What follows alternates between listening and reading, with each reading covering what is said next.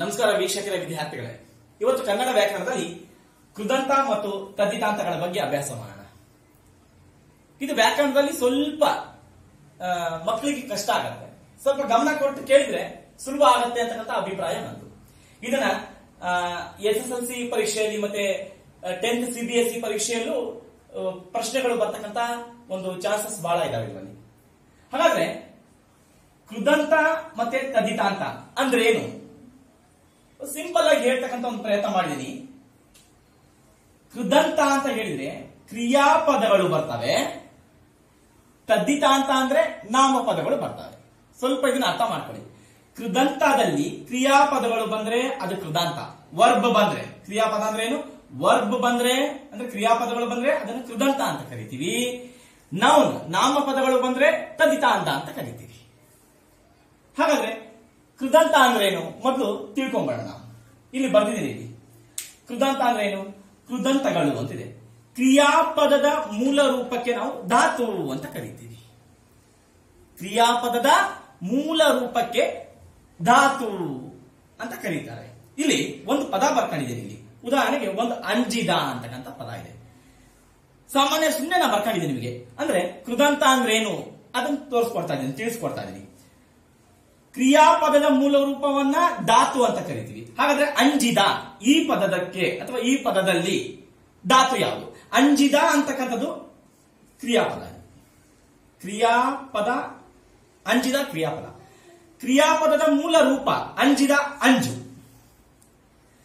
ಅಂಜಿದ ಅಂತಕ್ಕಂಥ ಪದ ಇದೆ. ಅದರ ಮೂಲ ರೂಪ ಅಂಜು. ಈ ಅಂಜು ಅಂತಕ್ಕಂಥ ಪದದಿಂದ ನಾವು ಬೇರೆ ಬೇರೆ ಪ್ರತ್ಯಯಗಳನ್ನು ಸೇರಿಸಿ ಬೇರೆ ಬೇರೆ ಪದ ಮಾಡ್ತೀವಿ. ಅಂಜುತ್ತ ಅಂಜಲಿಕ್ಕೆ ಅಂಜಿದನು, ಅಂಜುವುದು. ನೋಡಿ, ಅಂಜು ಅಂತಕ್ಕಂತಹ ಮೂಲ ರೂಪ ಇಟ್ಕೊಂಡು, ಆ ಮೂಲ ರೂಪ ಇಟ್ಕೊಂಡು, ಒಂದು ಪದ ಇಟ್ಕೊಂಡು ಬೇರೆ ಬೇರೆ ಪ್ರತ್ಯಯಗಳನ್ನು ಸೇರಿಸಿ ನಾವು ಬೇರೆ ಬೇರೆ ಪದ ಮಾಡ್ತೀವಿ. ಆದ್ದರಿಂದ ಕ್ರಿಯಾಪದದ ಮೂಲ ರೂಪ ಇಲ್ಲಿ ಧಾತು ಅಂತ ಕರಿತೀವಿ. ಇಲ್ಲಿ ಅಂಜಿದ ಅಂತಕ್ಕಂತಹ ಪದಕ್ಕೆ ಧಾತು, ಅಂಜು. ಆ ಅಂಜು ಪ್ಲಸ್ ದ ಪ್ಲಸ್ ಆ ಅಂಜಿದ ಅಂತ ಆಗತ್ತೆ. ಅಂಜು ಅಂತಕ್ಕಂತಹ ಕ್ರಿಯಾಪದದ ಮೂಲ ರೂಪವಿನ ಧಾತು ಇದು. ಆ ಧಾತುವಿಗೆ ದ ಪ್ಲಸ್ ಅ ಅಂತಕ್ಕಂತಹ ಕೃತ್ ಪ್ರತ್ಯಯಗಳನ್ನ ಸೇರಿಸಿದ್ರೆ ಕೃದಂತ ಅಂತ ಕರಿತೀವಿ. ಸ್ವಲ್ಪ ಈ ಕಡೆ ಗಮನ ಕೊಡಿ. ಏನು ಕೃದಂತ ಅಂದ್ರೆ? ಕ್ರಿಯಾಪದದ ಮೂಲ ರೂಪವಾದ ಧಾತುವಿಗೆ. ಅಂಜಿದ ಒಂದು ಪದ ಇದೆ.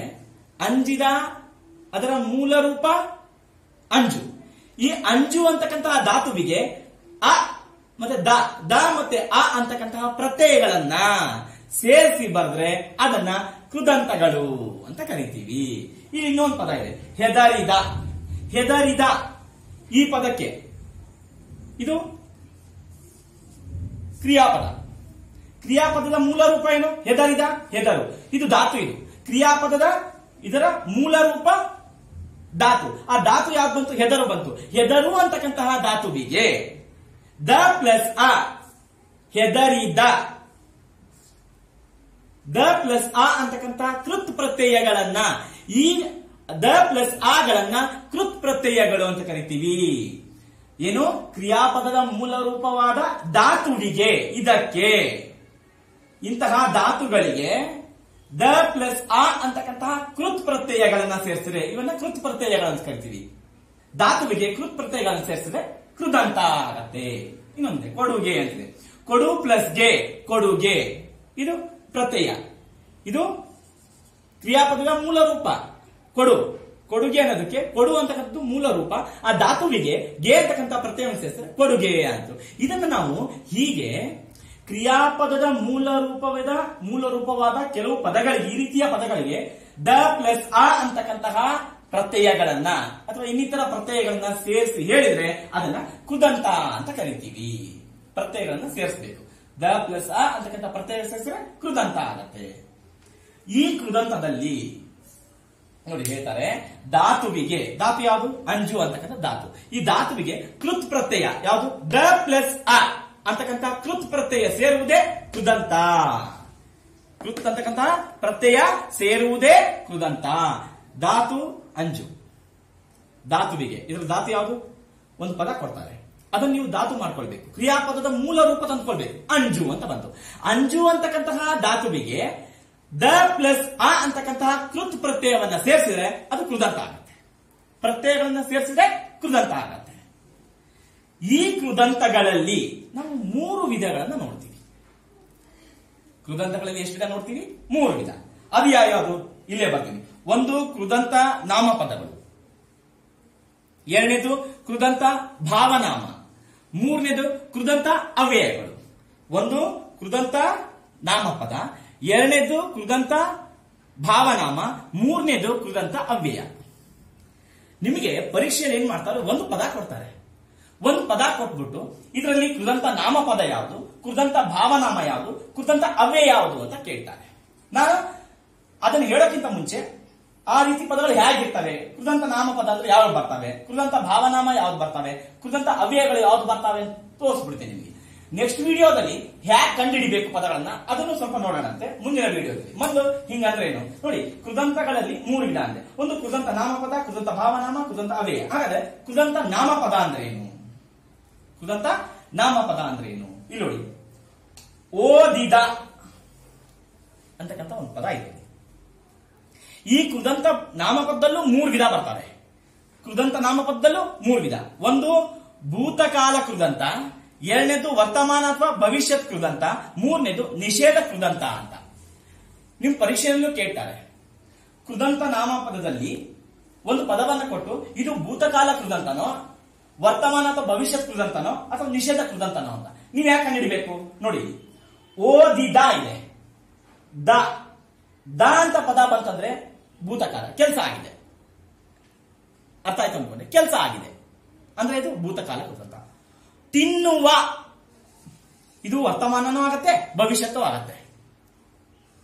ಅರ್ಥ ಆಯ್ತು ಅನ್ಕೊಂಡ್ರೆ ವಾ ಇಂದ ಕೊನೆಗೊಂಡ್ರೆ ಅದು ವರ್ತಮಾನ ಅಥವಾ ಭವಿಷ್ಯತ್ ಕೃದಂತ ಹೋಗದ ಅದ. ಹೋಗದ. ಬರೀ ದಾ ಬಂದ್ರೆ ಭೂತಕಾಲ ಕೃದಂತ ವಾ ಬಂದ್ರೆ ವರ್ತಮಾನ ಅಥವಾ ಭವಿಷ್ಯತ್ ಕೃದಂತ ಹೋಗದ, ಅದ ಅಂತ ಬಂದ್ರೆ ನಿಷೇಧ. ಕೆಲಸ ಆಗಿಲ್ಲ ಅಂತ ನಿಷೇಧ ಕೃದಂತ ಇದು ಹೇಗೆ ನಿಮ್ಗೆ ಗೊತ್ತಾಯ್ತಿದೆ? ಇದನ್ನ ಕಾಲಸೂಚಕ ಪ್ರತ್ಯಯಗಳು ಅಂತ ಕರಿತೀವಿ ಇದನ್ನ. ಕೃದಂತಗಳಲ್ಲಿ ಮೂರು ವಿಧ ಅಂದ್ರೆ ಒಂದು ಕೃದಂತ ನಾಮಪದ ಕೃದಂತ ಭಾವನಾಮ ಕೃದಂತ ಅವ್ಯಯ. ಆ ಕೃದಂತ ನಾಮಪದಗಳಲ್ಲಿ ಮೂರು ವಿಧ. ಒಂದು ಭೂತಕಾಲ ಕೃದಂತ ವರ್ತಮಾನ ಅಥವಾ ಭವಿಷ್ಯತ್ ಕೃದಂತ ಮೂರನೇದು ನಿಷೇಧ ಕೃದಂತ ಓದಿದ ಕೆಲಸ ಆಗಿದೆ. ದಾಯಿಂದ ಕೊನೆ ಆದ್ರೆ ಭೂತಕಾಲ ಕೃದಂತ ತಿನ್ನುವ ವಾಯಿಂದ ಕೊನೆ ಆಗಿದ್ರೆ ವರ್ತಮಾನ ಅಥವಾ ಭವಿಷ್ಯತ್ ಕೃದಂತ ಹೋಗದ ಅದ ಅಂತ ಬಂತು ಅಂದ್ರೆ ನಿಷೇಧ ಕೃದಂತ ಆತರ ತರ ಕೊಟ್ಟಾಗ ಈ ತರ ಬರಿಬೇಕು ನೀವು. ಈಗ, ಇದು ಕೃದಂತ ನಾಮಪದ ಅಂತ ನಿಮ್ಗೆ ಹೆಂಗೋ ಗೊತ್ತಾಗತ್ತೆ. ಇಲ್ಲೋಡಿ ಒಂದ್ ಹೇಳಿ ಇಲ್ಲಿ ಓದಿದ ಅಂತ ಪದ ಇದೆ. ಓದಿದ. ಓದು ಪ್ಲಸ್ ದ ಪ್ಲಸ್ ಆ ನೋಡಿ, ಓದಿದ. ದ ಬಂತು ಅಂದ್ರೆ. ತಿನ್ನುವ ವಾ ಬಂತು ಅಂದ್ರೆ. ಹೋಗದ ಅದ ಬಂತು ಅಂದ್ರೆ. ಇದು ಕೃದಂತ ನಾಮಪದ. ಕೃದಂತ ನಾಮಪದ. ಬಹಳ ಮುಖ್ಯವಾಗಿ ಹೇಳಿದೆ ನಿಮ್ಗೆ. ಕೃದಂತ ಅಂದ್ರೆ ಕ್ರಿಯಾಪದಗಳೇ ಬರ್ತವೆ ಕ್ರಿಯಾಪದಗಳೇ ಬರ್ತವೆ. ಆ ಕ್ರಿಯಾಪದದ ಮೂಲ ರೂಪ ಧಾತುವಿಗೆ ಬೇರೆ ಬೇರೆ ಪ್ರತ್ಯಯಗಳನ್ನು ಸೇರಿಸ್ತೀವಿ ನಾವು. ಈಗ ಓದಿದ ಅಂತಕ್ಕಂಥ ಪದ ಇದೆ ಈಗ. ಓದಿದ, ಇಲ್ಲೊಬ್ಬ ವ್ಯಕ್ತಿ ಬರ್ತಾನೆ. ಓದಿದ, ಒಬ್ಬ ವ್ಯಕ್ತಿಗೆ ಇದು ಸಂಬಂಧಪಟ್ಟಿದ್ದು. ತಿನ್ನುವ, ಅದು ಒಬ್ಬ ವ್ಯಕ್ತಿಗೆ ಸಂಬಂಧಪಟ್ಟಿದ್ದು. ಹೋಗದ, ಒಬ್ಬ ವ್ಯಕ್ತಿಗೆ. ನೋಡಿ, ಆಡಿದ, ಒಬ್ಬ ವ್ಯಕ್ತಿಗೆ ಸಂಬಂಧಪಟ್ಟಿದ್ದು. ಓಡುವ ಅಥವಾ ಓಡಿದ, ನೆನೆಯದ, ಇದು ವ್ಯಕ್ತಿಗೆ ಸಂಬಂಧಪಟ್ಟಿದ್ದು. ಒಬ್ಬ ವ್ಯಕ್ತಿಗೆ ಸಂಬಂಧಪಟ್ಟಿದ್ದು ಆಗಿದ್ದು, ದಾಯಿಂದ, ವಾಯಿಂದ, ಅದ. ಕೊನೆಯಾಗಿದ್ರೆ ಅದನ್ನ ಕೃದಂತ ನಾಮಪದ ಅಂತ ಹೇಳ್ತೀವಿ ಟೋಟಲ್ ಆಗಿ ಹೇಳಬೇಕು ಅಂದ್ರೆ, ಓದಿದ, ಏನ್ ಬಂತು? ಕೊನೆಗೆ ಆ ಬಂತು. ತಿನ್ನುವ, ವಾ, ಆ. ನೋಡಿ, ಅದಕ್ಕೂ ಆ ಬಂತು. ಹೋಗದ, ದ, ಅದಕ್ಕೂ ಆ ಬಂತು. ಆ ಇಂದ ಕೊನೆಯಾಗಿದ್ರೆ, ಕೊನೆಗೆ ಆ ಸ್ವರದಿಂದ ಕೊನೆಯಾಗಿದ್ರೆ, ಆ ಸ್ವರದಿಂದ ಕೊನೆಯಾಗಿದ್ರೆ ಕೃದಂತ ನಾಮಪದ ಅಂತ ಕರಿತೀವಿ ಅಥವಾ ದ ಇಂದ ವಾ ಇಂದ ಅದ ಇಂದನು ನಿಮಗೆ ಕಂಡುಹಿಡಿಯಕ್ ಬಂತು ಅಂದ್ರೆ ಅದನ್ನ ಕೃದಂತ ನಾಮಪದಗಳು ಅಂತ ಕರಿತೀವಿ. ಇನ್ನ ಕೃದಂತ ಭಾವನಾಮ. ಏನ್ ಹಂಗಂದ್ರೆ? ಕೃದಂತ ಭಾವನಾಮ ಅಂದ್ರೆ ಭಾವ, ಭಾವಾರ್ಥಗಳಿಗೆ ಬೇರೆ ಬೇರೆ ಪ್ರತ್ಯಯಗಳು ಸೇರ್ತವೆ. ಭಾವಾರ್ಥಗಳಿಗೆ ಭಾವನೆಯಿಂದ ಹೇಳ್ತಕ್ಕಂಥದ್ದು. ಇದು ಸಾಮಾನ್ಯವಾಗಿ ಹೇಳ್ಬೇಕಿಲ್ಲ ಒಬ್ಬ ವ್ಯಕ್ತಿಗೆ ಸಂಬಂಧಪಟ್ಟಿದ್ದಲ್ಲ. ಇದು ವ್ಯಕ್ತಿಗೆ ಸಂಬಂಧಪಟ್ಟಿದ್ದು. ಇದು ವ್ಯಕ್ತಿಗೆ ಸಂಬಂಧಪಟ್ಟಿದ್ದಲ್ಲ. ಇದನ್ನ ಸಾಮಾನ್ಯವಾಗಿ ಹೇಳ್ತೀವಿ. ನೋಡಿ, ಓದುವುದರ ಭಾವ ಓದುವಿಕೆ. ನಾ ಅದಕ್ಕೆ ಅದೇ ಪದ ತಗೊಂಡ್ಬಿಡ್ತೀನಿ ತಿನ್ನುವುದರ ಭಾವ ತಿನ್ನುವಿಕೆ. ಹಾಗೇನೆ ಹೇಳ್ಬೇಕಿಲ್ಲಿ. ಈ ತರ ಪದಗಳು ಬಂತಂದ್ರೆ ಅದು ಭಾವನಾಮ ಅಂತ ಕರಿತೀವಿ. ಕುಲದಂತ ಭಾವನಾಮ. ಇಲ್ಲಿ ನೋಡಿ, ಹೋಗದ. ಅದರ ಭಾವನಾಮ ಹೋಗುವಿಕೆ. ಇನ್ನು ಬೇರೆ ಬೇರೆ ಬದಲಾಗುತ್ತೆ ಇಲ್ಲಿ ನೋಡಿ, ಇನ್ನೊಂದಿದೆ. ಆಡಿದ. ಆಡುವುದರ ಭಾವನಾಮ ಆಟ. ನೋಡಿ, ಇದೇ ಬೇರೆ ಆಯ್ತು, ಇದೇ ಬೇರೆ ಆಯ್ತು. ಈ ತರನು ನೀವು ಕೇಳಿದ್ರೆ ಇದಕ್ಕೂ ಇದಕ್ಕೂ ರೆಡಿ ಆಗಿರ್ಬೇಕು. ಈ ತರ ಪದ ಬಂದ್ರೆ ಇದಕ್ಕೂ ನೀವು ಕೃತ ಭಾವನಾಮ ಅಂತ ಹೇಳಲಿಕ್ಕೆ ಅಥವಾ ಕಂಡುಹಿಡಿಯಲಿಕ್ಕೆ ರೆಡಿ ಆಗಿರ್ಬೇಕು. ಆಡುವುದರ ಭಾವನಾಮ ಆಟ. ಓಡುವ ಓಡುವುದರ ಭಾವನಾಮ ಓಟ. ಮಾಡುವುದರ ಭಾವನಾಮ ಮಾಟ. ಕಾಡುವುದರ ಭಾವನಾಮ ಕಾಟ. ನೋಡಿ, ಆಟ, ಓಟ, ಮಾಟ, ಅದರ ಭಾವನಾಮ. ನೋಡಿ, ಇಲ್ಲಿ ಒಬ್ಬ ವ್ಯಕ್ತಿಗೆ ಸಂಬಂಧಪಟ್ಟಲ್ಲಿ ನೀವು ಸಾಮಾನ್ಯವಾಗಿ ಹೇಳೋದಾದ್ರೆ ಜನರಲ್ ಆಗಿ ಹೇಳೋದಾದ್ರೆ, ಓದು, ಓದುವಿಕೆ, ತಿನ್ನುವಿಕೆ, ಇಲ್ಲಿ ಯಾರು ಬರಲ್ಲ ವ್ಯಕ್ತಿಗಳು. ಹೋಗುವುದು, ಹೋಗುವಿಕೆ, ಆಡುವುದರ ಭಾವನಾಮ, ಆಟ, ನೋಡುವುದರ ಭಾವನಾಮ, ನೋಟ, ಕಾಡುವುದರ ಭಾವನಾಮ, ಕಾಟ, ಓಡುವುದರ ಭಾವನಾಮ, ಓಟ, ನೆನೆಯ, ನೆನೆಯದ, ನೋಡಿ, ನೆನೆಯುವುದರ ಭಾವನಾಮ, ನೆನಪು. ನೆನೆಯುವುದರ ಭಾವನಾಮ, ನೆನಪು. ಉದಾಹರಣೆ ಇನ್ನೂ ಬಹಳ ಬರ್ತವೆ. ನೋಡು ಇಲ್ಲಿ ನಾನು ಕೇಳಿ ನಿಮಗೆ. ಅಂಜಿದಾಗ. ಇಲ್ಲಿ ಅಂಜಿದ ಅಂತ ಕೊಟ್ರೆ, ಅದರ ಭಾವನಾಮ ಏನು ನೋಡಿ? ಅಂಜುವುದರ ಭಾವನಾಮ? ಅಂಜಿಕೆ. ಏನು? ಅಂಜಿಕೆ. ಅಂತ ಇದೆ. ಇನ್ನೊಂದು ನೋಡೋಣ ನೋಡಿ. ನಂಬಿದ. ನಂಬುವುದರ ಭಾವನಾಮ? ನಂಬಿದ ಒಬ್ಬ ವ್ಯಕ್ತಿಗೆ ಸಂಬಂಧಪಟ್ಟಿದೆ. ನಂಬಿದ, ಆಡಿದ, ಓಡಿದ, ಹೌದಾ? ಹೋಗದ ಹೋದ ಇವೆಲ್ಲ ಒಬ್ಬ ವ್ಯಕ್ತಿಗೆ ಸಂಬಂಧಪಟ್ಟಿದ್ರೆ ದ ಇಂದ ವಾ ಇಂದ ಅದ ಇಂದ ಕೂಡ, ಕೊನೆಯಾಗಿದ್ದು, ಆ ಅಂತಕ್ಕಂತಹ ಸ್ವರ ಕೊನೆಗೆ ಬಂದಿದ್ರೆ ಅದೆಲ್ಲ ಕೃದಂತ ಭಾ, ನಾಮಪದ ಆಗತ್ತೆ. ಕೃದಂತ ನಾಮಪದ. ಆ ಭಾವಾರ್ಥಗಳಿಗೆ ಕೆಲವು ಪ್ರತ್ಯಯಗಳು ಸೇರಿ ಸಾಮಾನ್ಯವಾಗಿ ಹೇಳೋದಾದ್ರೆ ಅದನ್ನ ಕೃದಂತ ಭಾವನಾಮ ಅಂತ ಕರಿತೀವಿ. ಭಾವನೆಯಿಂದ ಬಂದಿರತಕ್ಕಂಥದ್ದು. ಅಂಜುವುದರ ಭಾವನಾಮ, ಅಂಜಿಕೆ. ನಂಬುವುದರ ಭಾವನಾಮ ನಂಬಿಕೆ. ಈಗ ಹೊಗಳಿದ ಅಂತ ಬಂತು. ಹೊಗಳಿದ ಅಂತ ಕೊಟ್ರೆ ಇದು ಕೃದಂತ ನಾಮಪದ. ಅದಕ್ಕೆ ಭಾವನಾಮ ಹೇಳಿ ನೋಡೋಣ. ಹೊಗಳಿದ ಒಬ್ಬ ವ್ಯಕ್ತಿ ಬಂದ್ರೆ ಅದು ನಾಮಪದ ಕೃದಂತ ನಾಮಪದ. ಇಲ್ಲಿ ಕೃದಂತ ನಾಮಪದ ಹೊಗಳಿದ ಅಂತ ಕೊಟ್ರೆ ನೀವು ಭಾವನಾಮ ಏನ್ ಬರಿಬಹುದು ಹೊಗಳಿದ ಹೊಗಳಿಕೆ ತೆಗಳಿದ, ತೆಗಳಿಕೆ. ಅರ್ಥ ಆಯ್ತು ಅನ್ಕೊಂಡೆ. ಅಂಜಿದ, ಅಂಜಿಕೆ. ಹೆದರಿದ ಹೆದರಿಕೆ. ನೋಡಿ ಬಹಳ ಈ ತರ ಬಹಳ ಪದಗಳು ಬರ್ತಾ ಹೋಗ್ತವೆ.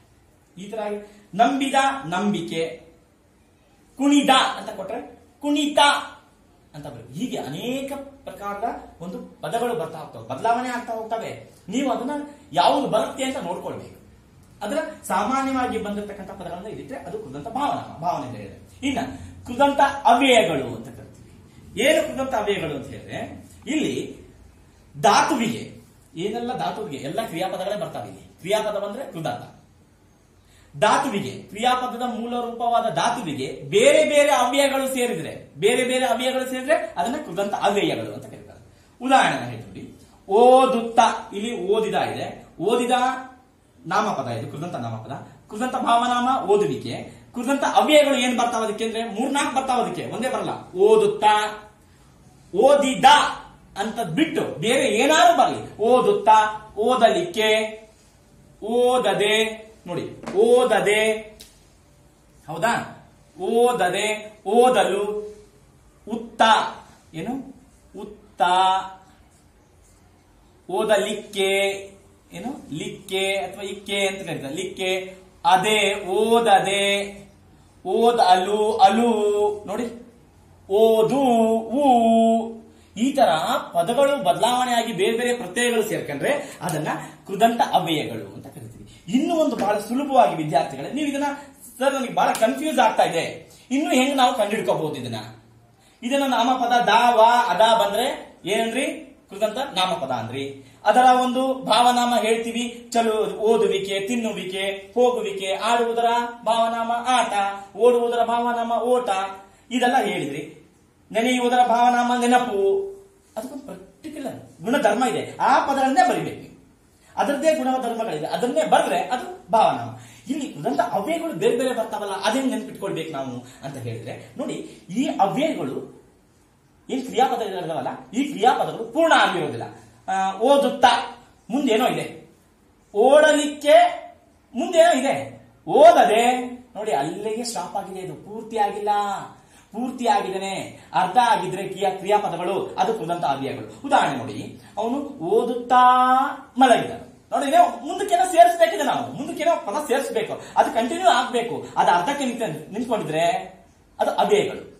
ಅದು ಕೃದಂತ ಅವ್ಯಯಗಳು. ಕೃದಂತ ಹೆಂಗ್ ಗೊತ್ತಾಗತ್ತೆ ನಮಗೆ? ಇದು ಕ್ರಿಯಾಪದ ಆಗಿರ್ಬೇಕು. ಓದೋದು ಕ್ರಿಯಾಪದ, ತಿನ್ನೋದು ಕ್ರಿಯಾಪದ, ಹೋಗುತ್ತಾ ಅದು ಕ್ರಿಯಾಪದ, ಆಡೋದು ಕ್ರಿಯಾಪದ. ಇವೆಲ್ಲ ಬರ್ತೀವು ಓಡೋದು ಕ್ರಿಯಾಪದ, ನೆನೆಯೋದು ಕ್ರಿಯಾಪದ.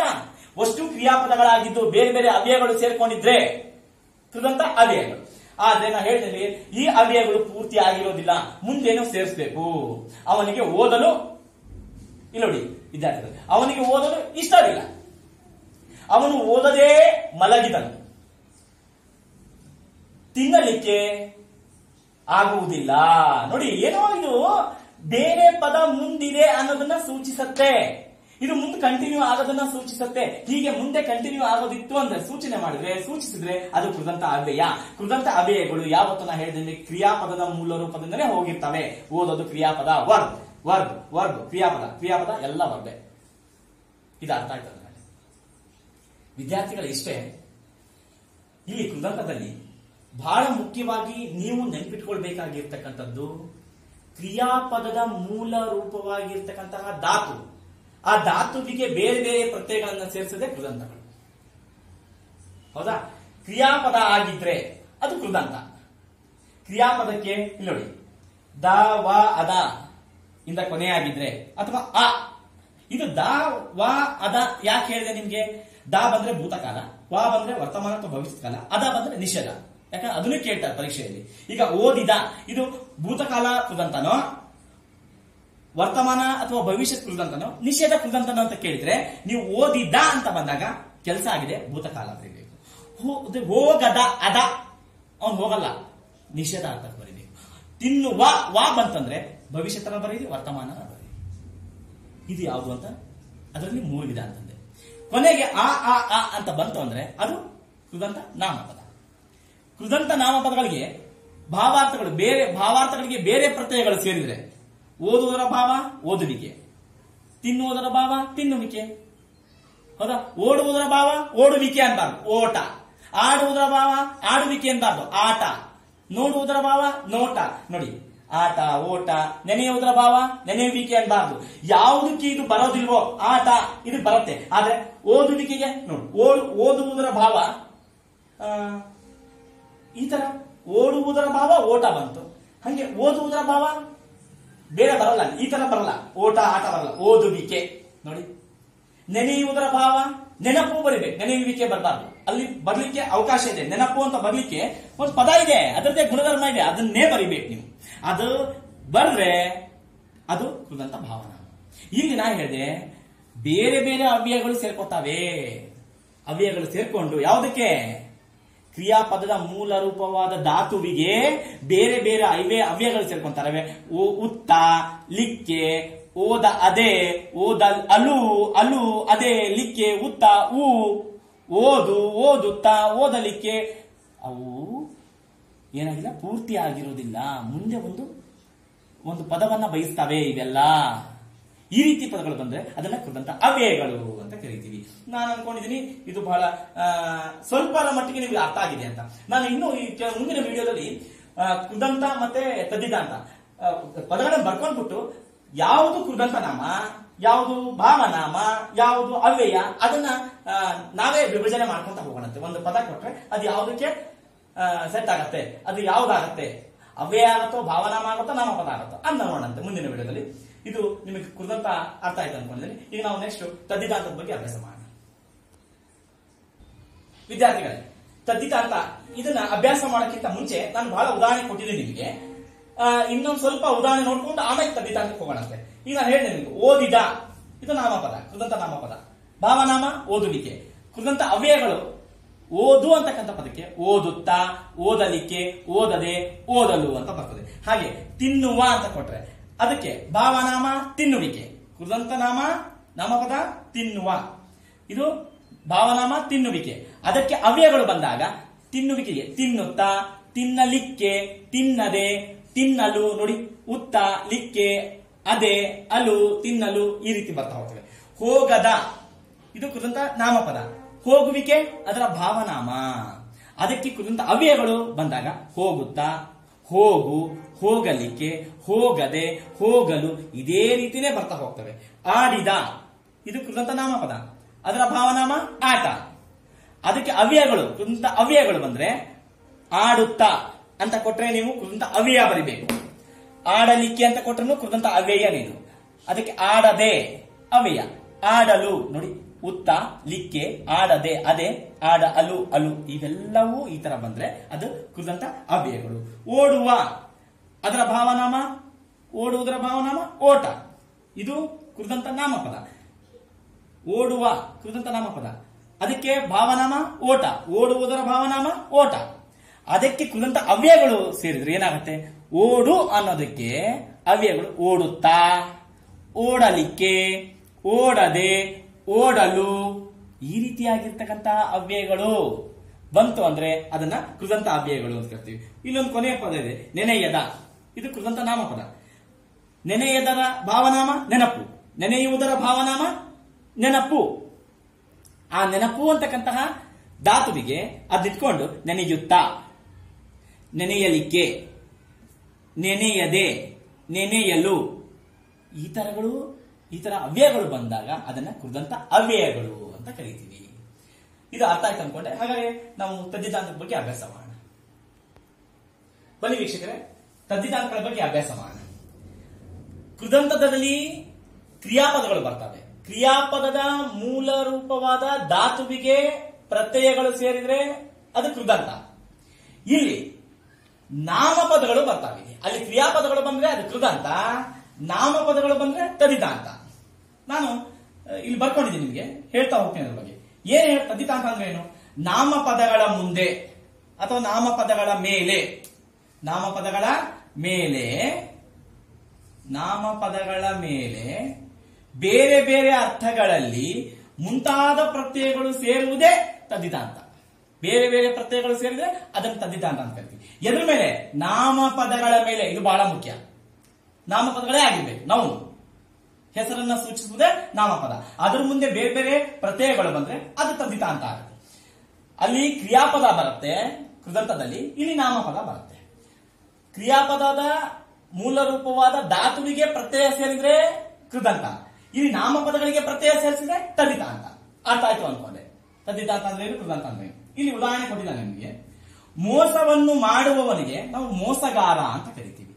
ಬಳೆಯನ್ನು ಮಾರುವವನು ಬಳೆಗಾರ ಗುಣವನ್ನು ಉಳ್ಳವನು ಗುಣವಂತ, ಕನ್ನಡವನ್ನು ಬಲ್ಲವನು ಕನ್ನಡಿಗ. ಹೌದಾ? ಇಲ್ಲಿ ಮುಖ್ಯವಾಗಿ ಗಾರ, ಇಲ್ಲೂ ಗಾರ, ವಂತ, ಈಗ, ಕನ್ನಡಿಗ.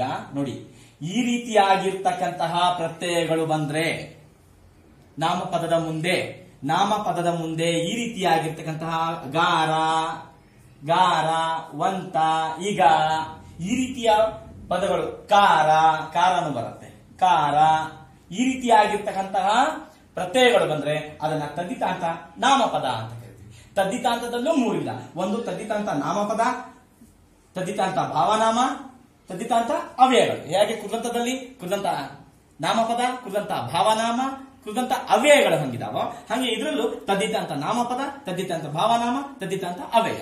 ಅಲ್ಲಿ ಕ್ರಿಯಾಪದಕ್ಕೆ ಪ್ರತ್ಯಯಗಳು ಸೇರ್ತವೆ, ಇಲ್ಲಿ ನಾಮಪದಕ್ಕೆ ಪ್ರತ್ಯಯಗಳು ಸೇರ್ತವೆ. ಅಷ್ಟೇ ವ್ಯತ್ಯಾಸ. ಇಲ್ಲಿ ಇಲ್ಲಿ ಬರ್ಕೊಂಡಿದ್ದೀನಿ ನಾನು. ನಾನು ನೇರವಾಗಿ ತದ್ದಿತಾಂತ ನಾಮಪದಕ್ಕೆ ಬಂದ್ಬಿಡ್ತೀನಿ. ಹೇಗಿರ್ತಾವೆ? ತದ್ದಿತ ನಾಮ- ನಾಮಪದಗಳು ಹೇಗಿರ್ತವೆ? ಸಾಲಗಾರ. ಸಾಲವನ್ನು ಮಾಡುವವನು ಸಾಲಗಾರ. ಹೌದಾ? ಸಾಲವನ್ನು ಮಾಡುವವನು ಸಾಲಗಾರ. ಇಲ್ಲಿ ಮೋಸವನ್ನು ಮಾಡುವವನು ಮೋಸಗಾರ ಅಂತ ಬರ್ಕೊಂಡಿದ್ವಿ. ಈಗ ಏನಾಗತ್ತೆ? ಬಿಡಿಸಿದಾಗ ಮೋಸವನ್ನು ಪ್ಲಸ್ ಮಾಡುವವನು ಮೋಸಗಾರ. ಕೂಡಿಸ್ಬೇಕಾದ್ರೆ ಇದು ಹೋಗ್ಬಿಡುತ್ತೆ. ಮೋಸ ಅಷ್ಟೇ ಉಳ್ಕೊಳುತ್ತೆ. ಅನ್ನು ಅಂತಕ್ಕಂತಹ ವಿಭಕ್ತಿ ಪ್ರತ್ಯಯ ಲೋಪ ಆಗುತ್ತೆ. ದ್ವಿತೀಯ ವಿಭಕ್ತಿ. ಅನ್ನು ಅಂತಕ್ಕಂತಹ, ನೋಡಿ, ಒನ್ನು, ಈ ಅನ್ನು. ಅನ್ನು ಅಂತಕ್ಕಂತಹ ವಿಭಕ್ತಿ ಪ್ರತ್ಯಯ ಲೋಪ ಆಗಿ ಮೋಸ ಮಾಡುವವನು ಮೋಸಗಾರ. ಬಳೆ, ಅನ್ನು ಹೋಗ್ಬಿಡುತ್ತೆ, ಕೂಡಿಸಿದಾಗ. ಬಳೆ ಮಾರುವವನು ಬಳೆಗಾರ. ಗುಣ, ಅನ್ನು ಹೋಗ್ಬಿಡುತ್ತೆ, ಕೂಡಿಸಿದಾಗ. ಗುಣ ಉಳ್ಳವನು ಗುಣವಂತ. ನೋಡಿ, ಗುಣಗಾರ ಅನ್ಬಾರ್ದು. ಅದಕ್ಕೆ ಹೇಳೋದು, ಎಲ್ಲಿ ಆ ಪದ ನೋಡ್ಬೇಕು, ಯಾವುದು ಅದಕ್ಕೆ ಹೋಲತ್ತೆ? ಮೋಸ ಮಾಡೋನಿಗೆ ಮೋಸಗಾರ ಅಂತ ಕರಿತೀವಿ. ನಾವು ಮಾತಾಡ್ತೀವಿ ಅದನ್ನ ಪದಗಳನ್ನ ದಿನ ಅದನ್ನ ಬಳಕೆ ಮಾಡ್ತೀವಿ. ಆದ್ರೆ, ಇಲ್ಲಿ ಪರೀಕ್ಷೆಯಲ್ಲಿ ಅಥವಾ ಈ ತರ ಓದ್ಬೇಕಾದ್ರೆ, ಬರೀಬೇಕಾದ್ರೆ ಅದು ಲಕ್ಷ್ಯಕ್ಕೆ ಬರೋದಿಲ್ಲ. ಯಾಕೆ ಅಂತ ಹೇಳಿದ್ರೆ, ನಾವು ಅದನ್ನ ಯೋಚನೆ ಮಾಡೋದಿಲ್ಲ. ಸ್ವಲ್ಪ ಇದ್ರ ಕಡೆ ಗಮನ ಕೊಟ್ಟು ಕೇಳಿದ್ರೆ ಅರ್ಥ ಆಗತ್ತೆ. ಕನ್ನಡವನ್ನು ಬಲ್ಲವನು? ಕನ್ನಡವಂತ ಅನ್ಬಾರ್ದು. ಕನ್ನಡಿಗ. ಹೌದಾ? ಕನ್ನಡಿಗ ಅಂತ ಕರಿತೀವಿ ಅವ್ರನ್ನ. ಓಲೆಯನ್ನ ಮಾರು ಕೊಡುವವನು, ಮನೆ ಮನೆಗೆ ಓಲೆ ಕೊಡ್ತಾನೆ ಪತ್ರ. ಓಲೆಕಾರ. ವಚನವನ್ನು ಬರೆಯುವವನು, ವಚನಗಾರ. ನೋಡಿ, ವಚನಕಾರ ವಚನಕಾರ. ನೋಡಿ. ಹಾಗೆ ಆ ರೀತಿ ಕಾರ, ಗಾರ, ವಂತ ಈಗ ಈ ತರ. ಯಾವಾಗ? ಇಲ್ಲಿ ವಿಭಕ್ತಿ ಲೋಪವಾಗಿ ವಿಭಕ್ತಿ ಲೋಪವಾಗಿ ಗಾರ, ವಂತ, ಸಿರಿವಂತ. ಸಿರಿಯನ್ನು ಉಳ್ಳವನು ಸಿರಿವಂತ. ಪ್ರಮಾಣವನ್ನು ಉಳ್ಳವನು ಪ್ರಾಮಾಣಿಕ ನಿಕ ಅಂತಾನು ಬರುತ್ತೆ. ಓಲೆಯನ್ನು ಕೊಡುವವನು ಓಲೆಕಾರ. ಕುಂಭವನ್ನು ಮಾಡುವವನು ಕುಂಭ ಆರ. ಆರ. ನೋಡಿ ಇಲ್ಲಿ ಆರ ಬಂತು. ಆರ. ಹೂವನ್ನು ಮಾರುವವನು ಹೂವಾಡಿಗ ಇಗ. ನೋಡಿ, ಗಾರ, ವಂತ, ನಿಕ, ಕಾರ, ಆರ ಈಗ ಈ ರೀತಿಯಾಗಿರ್ತಕ್ಕಂತಹ, ನೋಡಿ, ಗಾರ, ಹೌದಾ? ವಂತ, ನಿಕ, ಪ್ರಾಮಾಣಿಕ, ಪ್ರಮಾಣವುಳ್ಳ ಉಳ್ಳವನು. ಕಾರ ಆರ. ಈಗ ಇನ್ನು ಬಹಳ ಬರ್ತಾವ್ರಿ, ವಿದ್ಯಾರ್ಥಿಗಳೇ. ನಾನು ಸ್ವಲ್ಪ ಉದಾಹರಣೆ ತೋರಿಸ್ತೇನೆ ನಿಮಗೆ. ಈ ರೀತಿಯಾಗಿರ್ತಕ್ಕಂತಹ ನಾಮಪದಗಳ ಮುಂದೆ ಈ ಪ್ರತ್ಯಯಗಳು ಸೇರಿದ್ರೆ ಅದು ತದ್ದಿದಾಂತ ನಾಮಪದ. ಸಾಲಗಾರ. ಹೌದಾ? ಸಾಲ ಮಾಡೋವನ್ನ ಸಾಲಗಾರ ಅಂತ ಹೇಳ್ತೀವಿ. ಗಾರ, ವಂತ. ಈ ರೀತಿಯಾಗಿರ್ತಕ್ಕಂತಹ ನಾಮಪದಗಳ ಮುಂದೆ ಈ ರೀತಿ ಪ್ರತ್ಯಯಗಳು ಬಂದ್ರೆ ಅದನ್ನ ತದ್ದಿತಾಂತ ನಾಮಪದ ಅಂತ ಕರಿತೀವಿ. ಇನ್ನ ತದ್ದಿದಾಂತ ಭಾವನಾಮ ಅಂದ್ರೇನು? ಇಲ್ಲಿ ನಾಮಪದಗಳಿಗೆ. ಎಲ್ಲದಕ್ಕೂ ನಾಮಪದನೇ ಬರ್ತಾವೆ ನಾಮಪದಗಳಿಗೆ ಭಾವಾರ್ಥ ಇತರ ಅವ್ಯಯಗಳು ಸೇರಿದಾಗ ಪ್ರತ್ಯಯಗಳು ಸೇರಿದಾಗ, ಕ್ಷಮಿಸಿ, ಪ್ರತ್ಯಯಗಳು ಸೇರಿದಾಗ ಅದು ತದಿದಾತ ಭಾವನಾಮ ಆಗತ್ತೆ. ನೋಡಿ ಜಾಣನ ಭಾವ ಜಾಣತನ ಹೌದಾ? ದೊಡ್ಡವರ ಭಾವ, ದೊಡ್ಡತನ. ಬಿಳಿದರ ಭಾವ, ಬಿಳುಪು. ಹೊಳೆಯುವುದರ ಭಾವ, ಹೊಳಪು. ಅದು, ನೋಡಿ, ಕುರುಡ, ಕುರುಡರ ಭಾವ, ಕುರುಡು. ಹೌದಾ? ಇಲ್ಲಿ ಏನಾಗತ್ತೆ? ಜಾಣತನದ ದ ಆ ಬಂತು ಪ್ರತ್ಯಯ. ದೊಡ್ಡವರ, ರ, ಆ ಬಂತು ಪ್ರತ್ಯಯ. ಬಿಳಿದರ ರ ಆ ಬಂತು ಪ್ರತ್ಯಯ ಕೊನೆಗೆ. ಹೊಳಪು, ಹೊಳೆಯುವುದರ, ಆ, ಕುರುಡರ, ಆ, ಎಲ್ಲವೂ ಷಷ್ಠಿ ವಿಭಕ್ತಿನೇ ಆಗಿರುತ್ತೆ ಕೊನೆಗೆ. ಇಲ್ಲಿ, ಷಷ್ಠಿ ವಿಭಕ್ತಿ ಇಲ್ಲಿ ಬಂದಾಗ ದ್ವಿತೀಯ ವಿಭಕ್ತಿ ಲೋಪ ಆಗುತ್ತೆ. ನೀವು ಬಿಡಿಸ್ಕೊಳ್ರಿ. ಸಾಲಗಾರ ಅಂತ ಒಂದು ಪದ ಕೊಟ್ಟರು ಅನ್ಕೊಳ್ಳಿ ಸಾಲವನ್ನು ಪ್ಲಸ್ ಮಾಡುವವನು. ನಾವು ಸಮಾಸದಲ್ಲಿ ಬಿಡಿಸ್ಕೊಳ್ಳೋದಿಲ್ಲ, ಸಂಧಿ ಸಮಾಸದಲ್ಲಿ ಸಾಲವನ್ನು ಮಾಡುವವನು. ಸಿರಿಯನ್ನು ಉಳ್ಳವನು, ಪ್ರಮಾಣವನ್ನು ಉಳ್ಳವನು, ಓಲೆಯನ್ನು ಕೊಡುವವನು, ಕುಂಭವನ್ನು, ಹೂವನ್ನು, ನೋಡಿ ಅನ್ನು ಅನ್ನು ಅನ್ನು ಅಂತ ದ್ವಿತೀಯ ವಿಭಕ್ತಿ ಬಂತು ಅಂದ್ರೆ ಬಿಡಿಸ್ಕೊಂಡಾಗ ಬಿಡಿಸ್ಕೊಂಡಾಗ ಬಂತು ಅಂದ್ರೆ ಅದು ಪ್ರತಿದಾಂತ ನಾಮಪದ. ಇಲ್ಲಿ ಷಷ್ಠಿ ವಿಭಕ್ತಿ ಕೊನೆಗೆ ಬಂತು ಅಂದ್ರೆ ಆ ಆ ಆ ಅಂತ ಬಂತು ಅಂದ್ರೆ ತದ್ದಿದಂತ ಭಾವನಾಮ. ಅದರ ಭಾವ ಹೇಳಬೇಕು ಇಲ್ಲಿ. ಇಲ್ಲಿ ವ್ಯಕ್ತಿಗಳು ಬರ್ತಾವೆ. ಇಲ್ಲೂ ಅಷ್ಟೇ ಸಾಲಗಾರ ಒಬ್ಬ ವ್ಯಕ್ತಿ ಬರ್ತಾನೆ. ಸಿರಿವಂತ ಒಬ್ಬ ವ್ಯಕ್ತಿ ಬರ್ತಾನೆ. ಪ್ರಾಮಾಣಿಕ ಒಬ್ಬ ವ್ಯಕ್ತಿ ಬರ್ತಾನೆ. ಓಲೆ ಕೊಡೋನು ಒಬ್ಬ ವ್ಯಕ್ತಿ ಬರ್ತಾನೆ. ಕುಂಬಾರ ಒಬ್ಬ ವ್ಯಕ್ತಿಗೆ ಸಂಬಂಧಪಟ್ಟಿದ್ದು. ಹೂವಾಡಿಗ ಹೂವನ್ನು ಮಾಡ. ಎಲ್ಲ ವ್ಯಕ್ತಿಗಳು. ಇಲ್ಲಿ ನೋಡಿ, ಇಲ್ಲಿ ವ್ಯಕ್ತಿಗಳು ಬರೋದಿಲ್ಲ. ಸಾಮಾನ್ಯ ಪದ. ಜಾಂತನ. ಅದು ಯಾರ ಆಗಿರ್ಬೋದು. ಏ, ದೊಡ್ಡತನ ಇದೆ. ಯಾರ ಆಗಿರ್ಬೋದು. ಏ, ಅದು ಬಿಳುಪು. ಯಾವುದರ ವಸ್ತು ಆಗಿರ್ಬೋದು. ಇಲ್ಲಿ ವ್ಯಕ್ತಿಗಳೇ ಬರ್ತಾರೆ. ಇಲ್ಲಿ ಸಾಮಾನ್ಯವಾಗಿ ಹೇಳ್ತಕ್ಕಂತಹ ಪದಗಳು ಬಂತು ಅಂದ್ರೆ ಎಲ್ಲರಿಗೂ ಹೇಳ್ತೀವಿ, ಸಾಮಾನ್ಯ ಪದಗಳು. ಯಾವುದೇ ವಸ್ತು ಬರಲಿ, ಒಬ್ಬ ವ್ಯಕ್ತಿ ಬರಲಿ. ಈ ತರ ಬಂತು ಅಂದ್ರೆ ಅದು ತದಿದಂತ ಭಾವನಾಮ. ಇನ್ನ ತದಿದಂತ ಅವ್ಯಯಗಳು ಹೇಗಿರ್ತಾರೆ ಈ ಗಾರಾವಂತ ಕಾರ ಬಿಟ್ಟು. ಅಂತೆ, ರಾಮನಂತೆ ಸಂಜೆವರೆಗೂ ಮನೆ ತನಕ, ಜನರಿಗೋಸ್ಕರ, ದೇಶಕ್ಕಾಗಿ ರಾಮನಿಗಿಂತ ಭೀಮನೊಡನೆ ಕೊನೆಗೆ ನೋಡಿ ಅಂತೆ. ಹೌದಾ? ವರೆಗೆ ತನಕ ಓಸ್ಕರ ಓಸ್ಕರ ಆಗಿ ಈಗಿಂತ ಅಥವಾ ಇಂತ ಒಡನೆ ಭೀಮನೊಡನೆ ಒಡನೆ ಈ ರೀತಿ ಪ್ರತ್ಯಯಗಳು ಬಂತಂದ್ರೆ ಕೊನೆಗೆ ಇವು ತದ್ದಿದಂತ ಅವ್ಯಯಗಳು. ಏ, ತದ್ದಿದಂತ ಅವ್ಯಗಳು ಹೇಗೆ ಗೊತ್ತಾಗುತ್ತೆ ನಿಮಗೆ? ಹೆಸರಿದೆ ನೋಡಿ, ನಾಮಪದ. ರಾಮ, ನಾಮಪದ. ಸಂಜೆ, ನಾಮಪದ. ಮನೆ, ನಾಮಪದ. ಜನರು, ನಾಮಪದ. ದೇಶ, ನಾಮಪದ. ರಾಮ, ನಾಮಪದ. ಭೀಮ, ನಾಮಪದ. ನಾಮಪದಕ್ಕೆ ಇತರ ಅವ್ಯಯಗಳು ಸೇರಿದಾಗ ಅದು ತದ್ದಿದಂತ ಅವ್ಯಯ. ಕ್ರಿಯಾಪದದ ಮೂಲ ರೂಪವಾದ ಧಾತುವಿಗೆ ಸೇರಿದ್ರೆ ಕೃದಂತ ಅವ್ಯಯ, ನಾಮಪದಕ್ಕೆ ಸೇರಿದ್ರೆ ತದಿದಾಂತ ಅವ್ಯಯ. ಕೃದಂತದಲ್ಲಿ ಕೃದಂತದಲ್ಲಿ ಕ್ರಿಯಾಪದ ಬರ್ತವೆ. ಕ್ರಿಯಾಪದಗಳು ಬಂತಂದ್ರೆ ಅದು ಕೃದಂತ ನಾಮಪದಗಳು ಬಂತಂದ್ರೆ ಹೆಸರು ಬಂತಂದ್ರೆ ಅದು ತದ್ದಿದಾಂತ ಇಲ್ಲಿ ನೋಡಿ, ಇಲ್ಲೂ ಅಷ್ಟೇ, ಕೊನೆ ಆಗೋದಿಲ್ಲ. ಅವನು ರಾಮನಂತೆ ಮುಂದೇನೋ ಇದೆ? ಕಾಣುತ್ತಿದ್ದನು. ರೀತಿ ಅರ್ಧ ಕ್ರಿಯಾಪದ ಆಗಿದ್ರೆ, ಪೂರ್ಣವಾಗದ ಕ್ರಿಯಾಪದ ಆಗಿದ್ರೆ ಅದನ್ನ ತದ್ದಿತ ಅಂತ ಅವ್ಯಯ ಅಂತ ನೀವು ಹೇಳ್ಬೋದು. ಸಂಜೆಯವರೆಗೆ ನಾನು ಬರಕಾಗಲ್ಲ ನೋಡಿ ಸಂಜೆಯವರೆಗೂ ನಾನು ಬರಕ್ಕಾಗಲ್ಲ. ಅಲ್ಲೇನೋ ಮುಂದಿದೆ. ಮನೆ ತನಕ ಬರ್ತೀಯಾ? ಮನೆ ತನಕ ಬರ್ತೀಯಾ? ನೋಡಿ ಏನೇನು ಕೇಳ್ಬೇಕು ನೀವು. ಅಂದ್ರೆ ಮುಂದೆ ಏನೋ ಒಂದು ಪದ ಇದೆ ಸೇರಿಸ್ಬೇಕು. ಜನರಿಗೋಸ್ಕರ ದುಡಿತೀವಿ. ನೋಡಿ, ಏನೋ ಅಲ್ಲಿ ಕ್ರಿಯಾಪದ ಅಪೂರ್ಣ ಆಗಿರುತ್ತೆ. ಅಪೂರ್ಣ ಆಗಿದ್ದು, ಕ್ರಿಯಾಪದ ಅಪೂರ್ಣವಾಗಿದ್ದು ಮುಂದ ಪ್ರಾರಂಭದಲ್ಲಿ ನಾಮಪದ ಇತ್ತು ಅಂದ್ರೆ, ಪ್ರಾರಂಭದಲ್ಲಿ ನಾಮಪದ ಇದ್ದು, ಅಪೂರ್ಣವಾದ ಪ್ರತ್ಯಯಗಳಾಗಿದ್ರೆ ಅದನ್ನು ತದಿನಾಂತ ಅವ್ಯಯ ಅಂತ ಕರಿತೀವಿ. ವಿದ್ಯಾರ್ಥಿಗಳೇ, ವೀಕ್ಷಕರೇ ಇಷ್ಟೇ. ಕೃದಂತದಲ್ಲಿ ಕ್ರಿಯಾಪದಗಳು ಬರ್ತವೆ ಆಡು, ಓಡು, ನೋಡು, ಹೌದಾ? ಓದು, ಇವೆಲ್ಲ ಕ್ರಿಯಾಪದಗಳು. ಇಲ್ಲಿ, ಎಲ್ಲಿ? ತದಿತಾರ್ಥದಲ್ಲಿ ನಾಮಪದಗಳು ಬರ್ತವೆ. ಸಿರಿವಂತ, ಗುಣವಂತ, ಪ್ರಾಮಾಣಿಕ, ಓಲೆಕಾರ, ಕುಂಬಾರ. ಅದಕ್ಕೆ ಪ್ರತ್ಯಯಗಳನ್ನು ಬೇರೆ ಬೇರೆ ಪ್ರತ್ಯಯಗಳನ್ನು ಸೇರಿಸಿದಾಗ ಅದು ಭಾವನಾಮ ಆಗತ್ತೆ ಮತ್ತೆ ಅವೇ ಆಗತ್ತೆ.